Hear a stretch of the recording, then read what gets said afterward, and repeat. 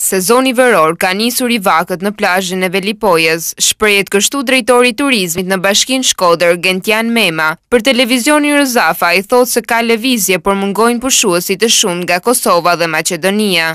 Sezoni ka nisur mund të themi i vakët.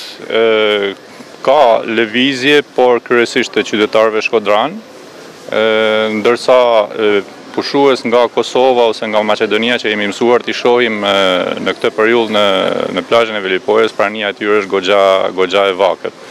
Ndoshta me ndonjë lëvizje në në fundjava, por gjithsesi në krahasimisht me vitet e kaluara mbetet goxha më e vakët. Kjo për arsye edhe të të krizës shëndetësore që po kalon komplet rajoni, e sidomos edhe Kosova e Maqedonia po përjetojnë shifra gjithnjë në rritje të infektuarve dhe të viktimave të, të virusit COVID-19 dhe kjo si duket ndikon edhe në mënyrë të konsiderueshme në, në flukset e lëvizjes së tyre.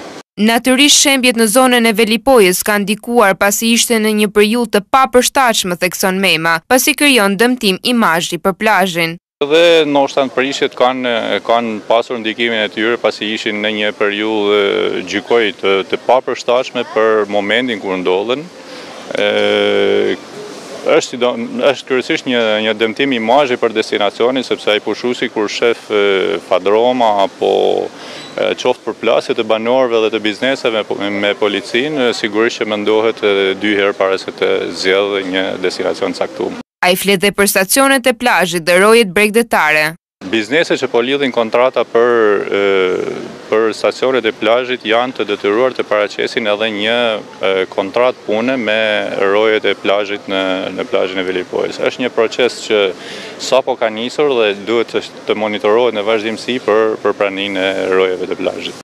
Një situatë e tillë ndikon negativisht dhe tek të ardhurat e Bashkisë Shkodër, pasi turizmi është një nga burimet kryesore të të ardhurave për këtë institucion.